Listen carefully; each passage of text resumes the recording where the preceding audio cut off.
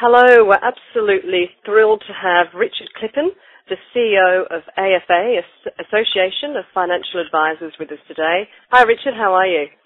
Hi, Rachel. Thanks for uh, the opportunity to chat to you. No, thank you. Richard, can I ask, given the changes facing the industry today and in the future, what advice do you have to business owners to ensure they embrace change? Uh, Rachel, look, you know, if you if you if if we just put on the um, the rear vision mirror for a moment and look back over the last few years, it's been a time of intense change and intense scrutiny. Really, um, the the marketplace, um, financial advisors have been a path of uh, on a path of change, uh, really for the last decade, to get their proposition really clear out to their client base.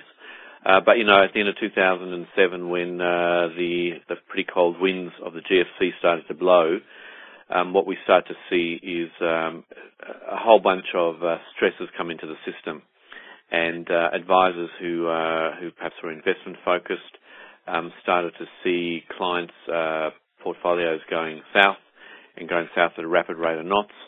Uh, we saw uh, insurance specialists um, starting to pick up and, and, write business as as the Australian community kind of headed into a cocoon type of environment uh, where risk uh, and being risk averse uh, was absolutely the virtue.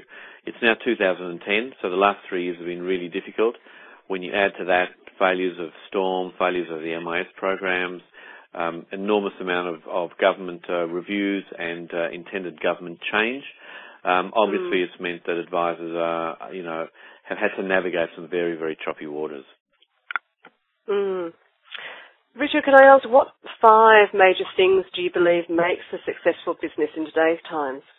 Yeah, look, I don't think really the essence has changed at all. Uh, it's been very clear about who your client segment is, very clear about the service uh, and offer that you deliver to them, ensuring that you absolutely do deliver, uh, give good value for money, and uh, you know some of the recent research that the AFA has conducted has really given insight into what consumers are valuing, and that is the sense of advisors helping and empowering them around uh, clarity around their financial future, uh, the piece around coaching, there's this piece around the clarity and focus of purpose.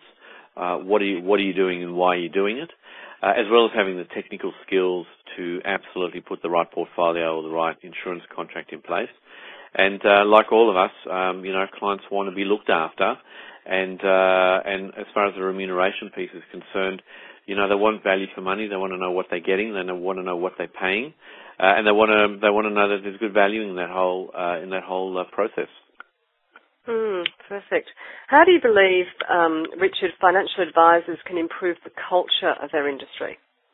Look, I, I think um, the culture is actually really strong. I, I, I think the you know, in this industry, obviously we've had uh, some bad eggs. Um, it, we are in the money business, and we have had our share of uh, of uh, of fraud and traumas and dramas, and unfortunately, that's gone to tar the entire industry really with the wrong brush. I think. Um, what we need to do is to acknowledge some of the failures. We need to accept responsibility, even though it perhaps wasn't us.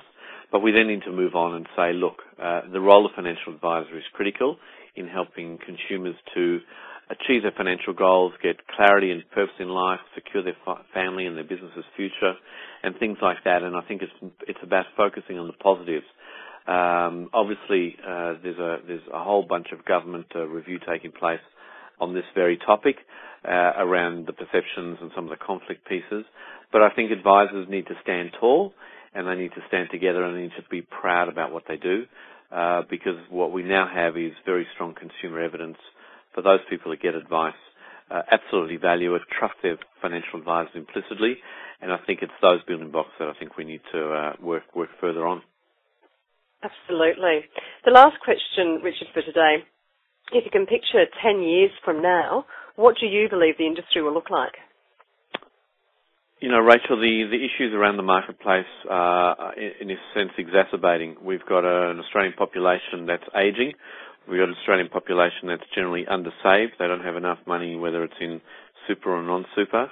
They generally don't have enough insurance uh, to protect uh, for the worst uh, uh the worst happenings if they happen to to, to come your way, uh, and generally uh, they're under-advised. So if you take if you take the broad issues facing the Australian community from a financial perspective, uh, the financial advisory industry is absolutely well placed and I would argue best placed to serve and to solve some of those national issues.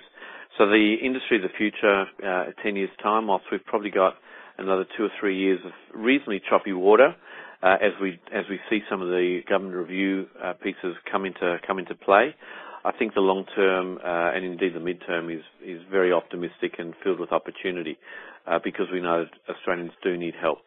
Um, practices, uh, you know, will be probably larger than they are today. They'll have corporatized model models. They'll have specialist advisors who can deal with specialist requirements uh, for their clients. Um, and I think uh, I think this um, focus on the long-term nature of the relationship serving that long-term nature um, and, and in a sense having an agreed contract with a client so that not only at plan time but on an ongoing coaching basis, there's a very strong relationship between the advice practice uh, and the clients that they look after. Perfect, wonderful advice. Thank you so much, Richard, for, for sharing today. It was um, absolutely gold. So that was Richard Klipin, the CEO of AFA. Thank you very much, Richard. Thanks, Rachel. Bye for now.